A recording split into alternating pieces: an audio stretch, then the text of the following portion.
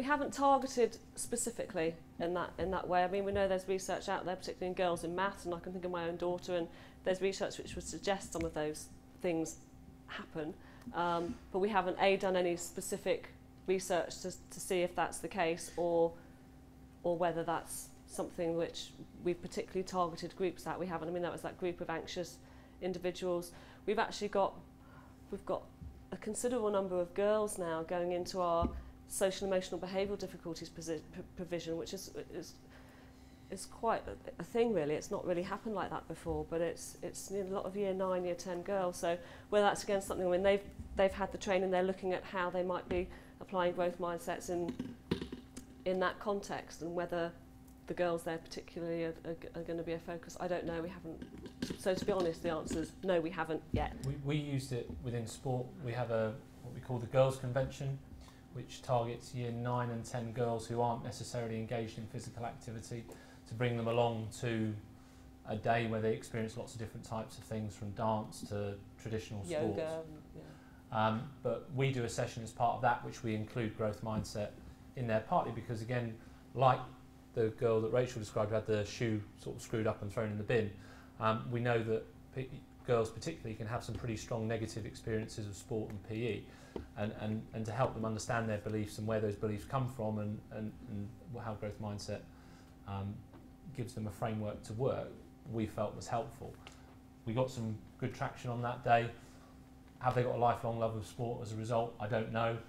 You know, it's part of a, a whole picture, and I think particularly with mental health uh, and, and, and girls particularly, it, it's such a massive picture that, that's beyond just growth mindset, but growth mindset I think has a role. We don't have SAT, we don't do the SATs that, that, that UK do, so because we are our own jurisdiction, we do a lot of teacher assessment. Uh -huh. So the, the teacher assessment, but they, um, it's, it's pretty well moderated. So they have moderation meetings and they look, you know, this is a, I think this is a level 4A, well I think this is level 4A, do it.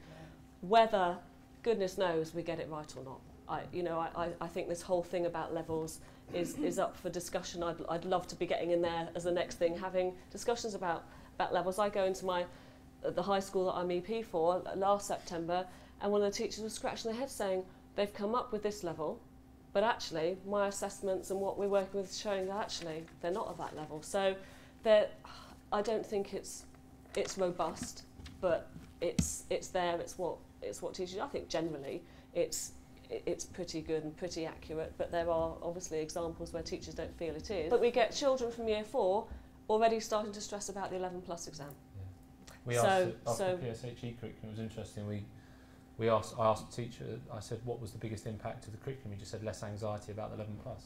You know, which is a worry in itself. That that's the number. Parents are starting to get their children tutored from you know, from that. So that becomes almost instead of and potentially worse, I don't know, than who would know than, than, than the, the, the SATs. But no, we don't have the SATs.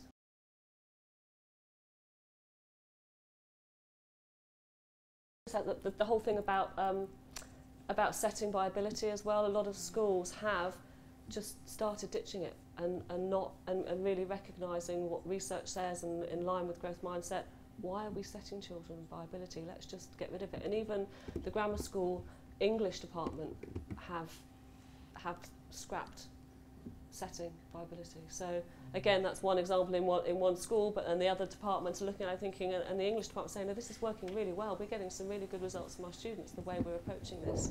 So hopefully, then that will be an example for some of the other departments. Not easy though, some schools said, you know, it might have taken some of them three or four years to actually get to the point where every teacher is comfortable with it and is accepting of it, but it's something that they've been on a journey with, with and really, really trying hard on. We try to, if you like, transition from having the, the characters, the, the cuddly characters through to stories, you know, whether it's Fantastic Mr. Fox, or moving into some of the children like cottoned on to Star Wars and getting using Yoda and Darth Vader as the, the fixed and growth mindsets. Um, and also that people can change, so Darth Vader can go from the good to bad and back. So there's all Tell sorts of. Yeah, I'm a, I love it. I'm going to write growth mindset Star Wars, but, but but yeah, and but moving through that phase then into real life people, you know, to Warren and Phil uh, Warren and Phil Smith who, who, who are doing the, the, the marathons and the running, through to our other sports people, through to um, business people who've got who you know particularly around the 11 plus people who've gone to the high schools. So we've got a guy who's chief executive of Guernsey Post, failed the 11 plus, now runs Guernsey Post. So bringing those real, going from the transitioning, the, the characters and the behaviours has been the way that we've tried to. And, and finding what their who their role models are, because we know you know 12, 13, 14 role models are really important to them, and actually saying, well, who are your role models? and then getting them to find out about what their learning journeys have been and, and why they're famous and why they perceive them to be successful and, and trying to find their growth mindset story because they'll have had they'll have had failures of course they will have had failures at time times and what can they learn from that so making it real for them I think is part of it has also been about breaking down and, and unpicking things like Britain's Got Talent mm. and, and how people are, are celebrated and, and how they got to where they are and, and a lot of people will talk now about there's a kind of uh, we need quick fixes. It's instantaneous. It, we're not if it's not instantaneous success, then we're not interested. And, and helping people see that that isn't actually how it works. And even you know on Britain's Got Talent, they those guys go through a, you know a really rigorous, almost ordeal to kind of to get to where they are. They have to take critical feedback, don't they, you know, and process it. So it's using as many real life examples as, as possible. I think.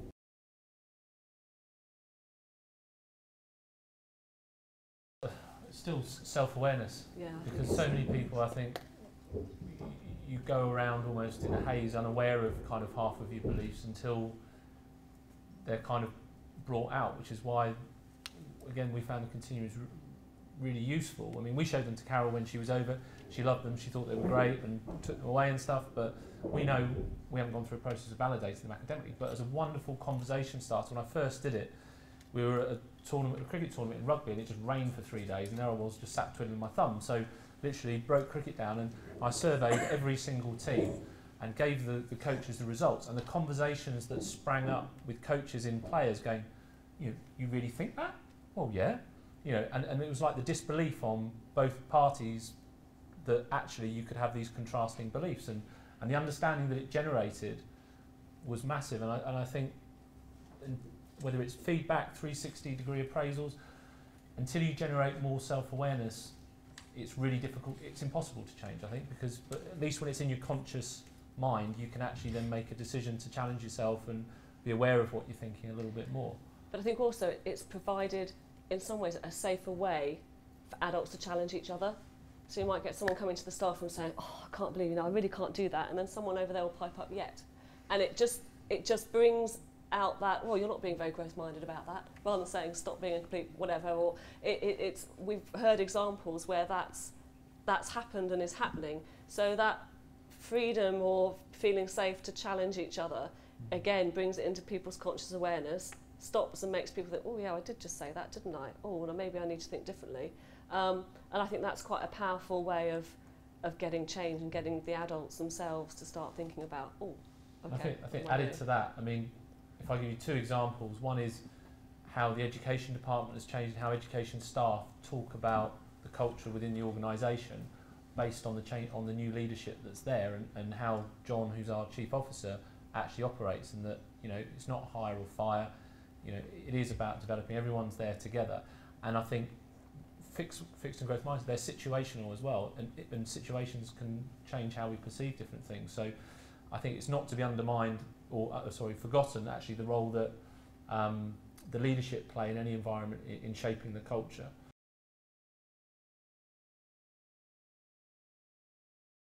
And grandparents, it was pointed out to us yesterday, which I think we often say in our chat, oh, and grandparents are the worst. They always say how clever or whatever their grandchildren are, but we haven't, we haven't actually targeted grandparents in a way, but I think the next school that asks for us to deliver training or they're going to do training with parents, we might say to them, actually, if the grandparents aren't looking after the children so the parents can come, invite the grandparents along as well. So we have, we've done training in schools, but obviously we recognise that that's not something everyone's going to engage in. Um, I don't know other than what we said last mm. night about... one of the things, that, one of the things primary schools have done, they've coincided it with a, a film night. So the teachers come in and the parents bring the children in with them. Uh, there's a film for the children to watch whilst the parents come in and sit in with the, the training. The other thing, I mean, Dun we were talking about Dundee yesterday, you've got a, a massive Tesco's up there, which must be God knows how many people work in it. But actually, the employers route is a really powerful one. Again, social security, you know, we've done the work with social security. Social security now want us to actually go and do some work with the job seekers themselves. So I think it has to be the community approach. But one of the one of the things is, I think it is actually not expecting them to walk Come through to the door, but actually go out to them. You have to find a place to engage with them, which is their turf. Because when we did the Rachel School, we first went in there. I mean, the, the attendance for parents' evenings is so poor, but actually, if you look at the information that came out of school for that group of parents, it's actually quite intimidating. You know, some of them are illiterate. You know, they don't have an and, to- and to get all that, they actually almost feel intimidated. But the moment something drops in through the letterbox from school, let alone actually going into the school to be told something by a teacher. So But somehow as well, how, how we communicate things to parents. I mean, one of, one of the secondary schools, and I was looking at one of the end of year school reports for a child, it was just a rag rated thing on their grades. You know, were they meeting their particular grades? And that was pretty much all it said. You know, we could communicate a lot better to parents about the progress they're making, the effort they're putting in, that you know, and use a more growth-minded approach. And it could be as simple as that star thing. It doesn't have to be complicated. Um, the rag rating thing isn't complicated, but the message it's sending is not particularly in line with the growth mindset. So, you know, for those parents who are interested in how their children are doing, thinking about how schools are communicating that to Mm. parents just, we just saw through massive- process. through that first year, we saw massive issues almost with the way it was um, formalised, in the fact that if their attendance, if they if they weren't performing to the level in a specific subject, if their attendance was up, if their um, Effort grade effort- was if high. if or their behaviour was okay, and something else was okay, then the thing that must be missing must be their effort. So they then got red for, for their effort. Whereas actually, like two of the kids I knew through sport, the one thing you could never question about those kids is their lack of effort, but it defaulted to oh, it must be their effort. Nothing to do potentially with the quality of teaching or, or anything else, but there were so many holes in it when you actually analysed it. It's quite worrying. We went down to a school in, in Essex and we asked them about how they engage with parents. They said, well, actually, it's something we haven't put a lot of time and effort into doing. We're relying on the children actually to be taking this on board from what we're teaching them and, and how that, you know, our approach to helping them learn. And what they're doing now is that they're finding the children are challenging their parents when their parents are saying they can't do something or the children are saying, well, I can't do it yet, but, you know. So, again, there's more than one way to skin a cat, but it's, it, it is as many ways as you can. I don't know, obviously, things in different languages. Yeah, I mean, our approach. I don't know whether I'm answering the question or not when I, when I say this, but our approach is that we're an island of 65,000 people. You can't change your people. You can't, you know, ship another load in and ship the others out. You actually have to change the people. And, and I think the only sustainable way is actually to promote real change in, in, in the individuals, and that starts with the parents, the teachers. It actually starts with our government as much as much as anything. And there's a wonderful. Um, we were lucky enough to hear Phil Zimbardo, another Stanford professor, talk last June, but he talked about um, a model of social psychology around the bad apple, the bad barrel, or the bad barrel maker. Um, you can spend a lot of time trying to fix bad apples, and you can spend a lot of time, time trying to fix bad barrels, but actually, if you fix the bad barrel maker, you don't get any bad apples at all. And how the system, if you can create systemic change, like for us, if we remove the 11 plus, that would probably be one of the single biggest things to create more of a growth-minded community. Very simple change to make, but actually we have to educate all of our politicians. So actually, they who all went to the two schools that probably benefit the most by the system. What you're seeing is educate all the people. That's an easy one, Jim. yeah. But I think within a school, though, it is, it is about the processes the procedures that are that making sure they are in line with the growth mindset. So you could walk into a school which doesn't use the words growth mindset, but everything it does embodies that, and and then it would be sustainable because it's about the processes that are there. And I, thinking of example, I mean, one of our primary schools uses a, a Kagan approach. I don't know if you know about Kagan. It's a it's an approach to um, it's a way of teaching which is all about collaborative learning, and it's a manual about this thick. And but they've been doing it for the last four or five years, and it's really embedded, really embedded in, in, in what they do, and it is in line with the growth mindset. You know, you could walk in there, and, and you would feel growth mindset in, in everything that's pretty much everything. And they're one of the first schools to completely get rid of all setting.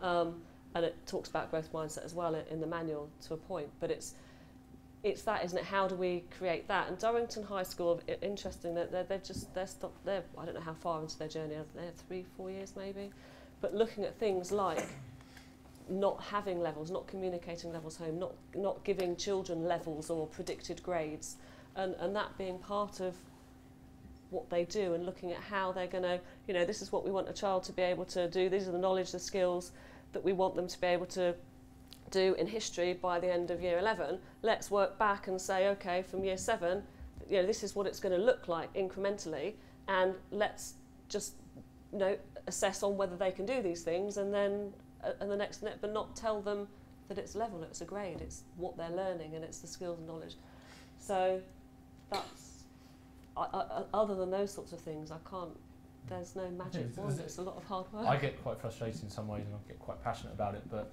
so much of it just it comes down to people, whether, and particularly the people who are the decision makers. Um, I mean, in our environment, we have a we have, we have a daily press that is probably not as constructive as it could be.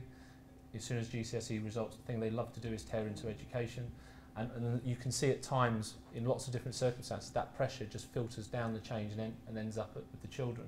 And again, I think that's what our chief officer does so well is actually act as a massive buffer for all of that pressure for so many people. And, and, and he invests in his people. I mean, I'm going to embarrass Morag, but I watch how Morag works again in terms of growing the foundation, what the foundation stands for in terms of leadership. It's, that's what you, you've got to protect your people. And, and it, it's about creating a culture and an environment where you, you celebrate people and grow them rather than chop and change them. And I think if we can really understand that and, and invest in people, then you know, really invest in people, not just a token gesture, then then you're going to be more sustainable. But you can write down all the manuals and the processes and everything, but if you don't really invest in your people, value that, then you're not going to do it.